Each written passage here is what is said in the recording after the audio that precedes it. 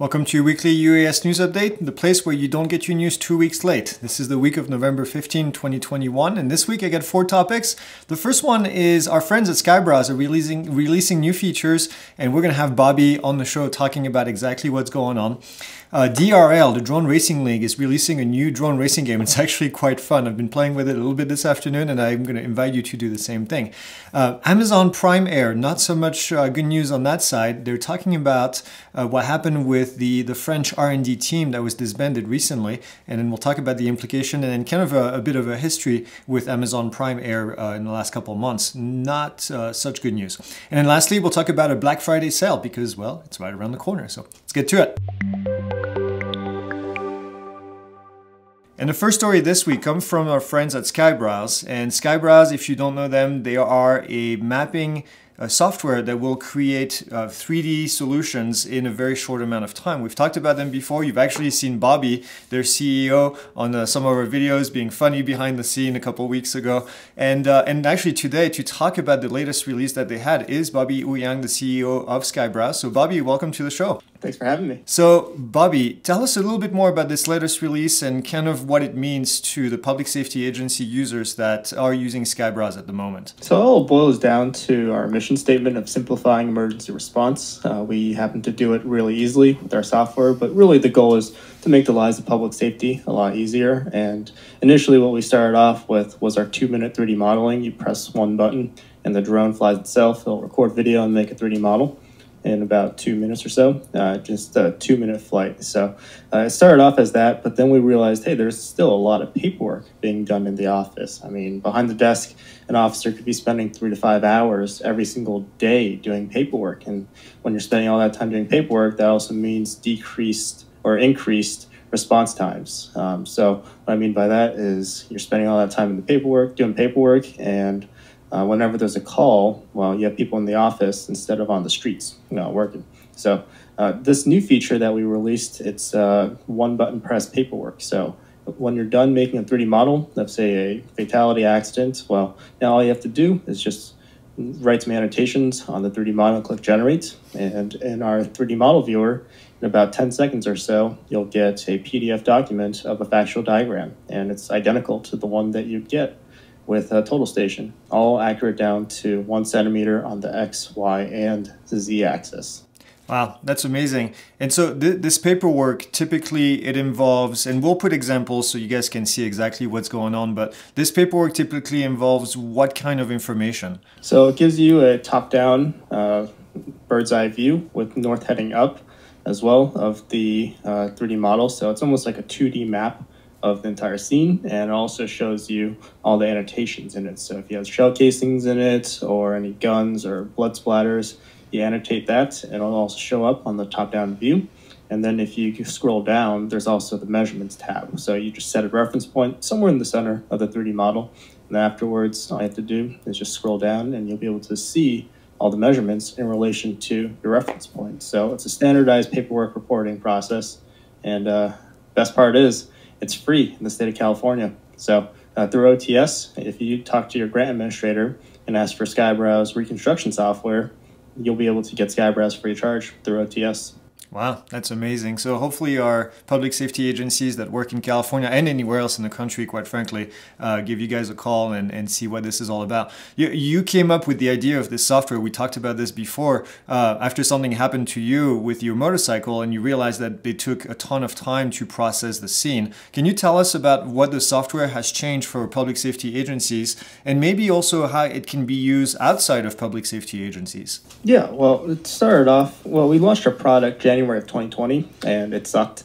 It was uh, it didn't work most of the time. When it worked, it worked okay, but it didn't work most of the time. So we spent a lot of time just taking feedback from public safety and making it a lot better to where it is today, where we don't get too many complaints about the software. I mean, it is just one button press. There's not much you can do to uh, mess it up.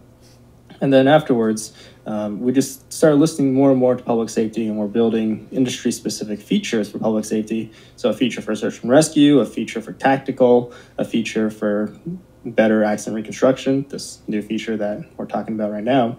And then, future, of course, well, we, we do plan on building out other features for different industries. For instance, like construction, just because currently we have a few construction clients that ended up purchasing SkyeBrowse. Uh, we don't market towards construction at all. We don't do any presentations for construction companies. I guess they just found us and they realized this is a really good solution for 3D modeling. Wow, that's awesome. Anything that you guys are working on next that you can share?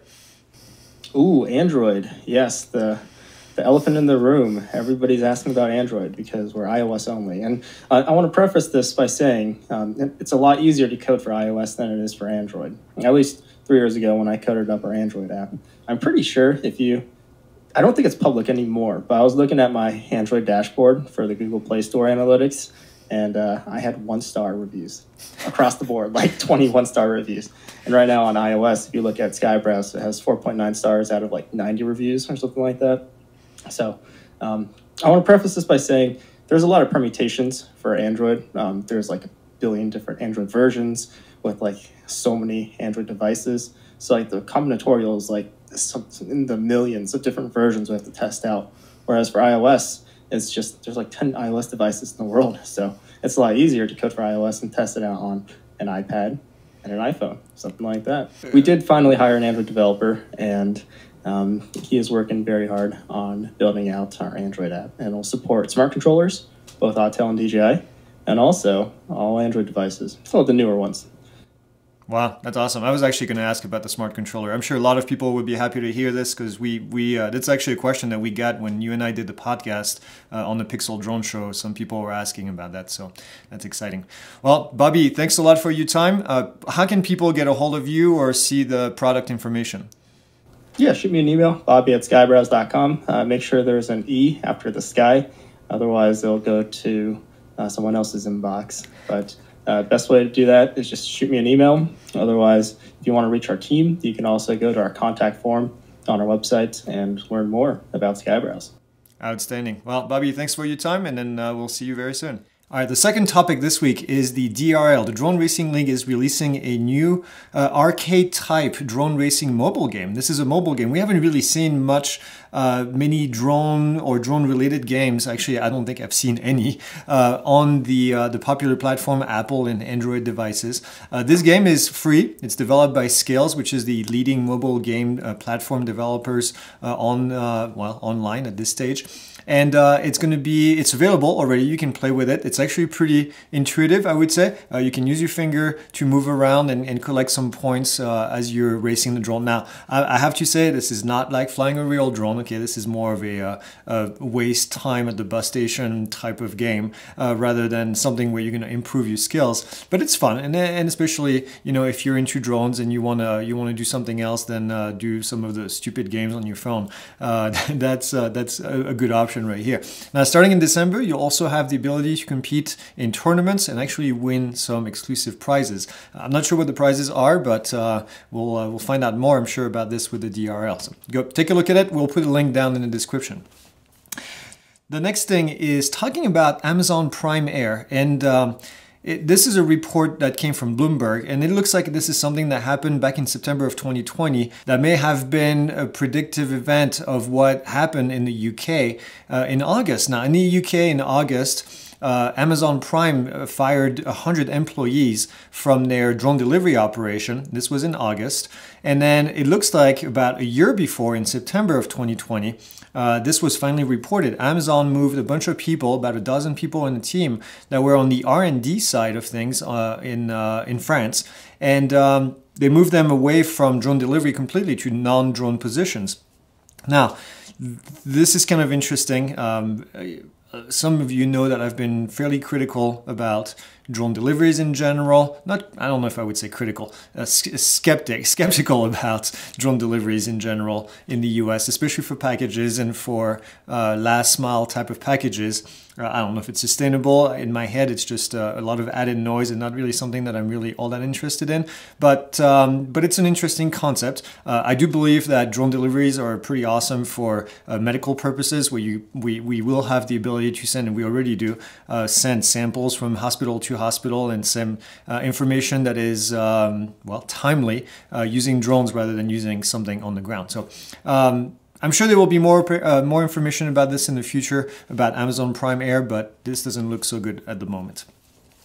All right, last topic this week. This is a good one. Our Black Friday sale is actually starting today. Uh, this is the only time of year that we do this type of a discount. People ask for it kind of year long. Hey, can I get the, the Black Friday discount? This is the only time of year where we actually discount the courses uh, to the level that we do. So uh, this includes our Part 107 Made Easy. So if you haven't signed up yet, if you're looking for a little bit of an incentive to do it, this is a good time. Obviously, all of our courses have lifetime access. So even if you buy them today, you can stock up and then use them later. This is a great time, great time of year to actually get access to information, accurate information, uh, current information, and pretty much at this stage at the best possible price of any courses online for the amount of stuff that you get. So um, get to it, pilotinstitute.com. We'll put some link down in here, and um, that's all I have. So as always, like, subscribe, leave your comments, and then I will talk to you guys next week.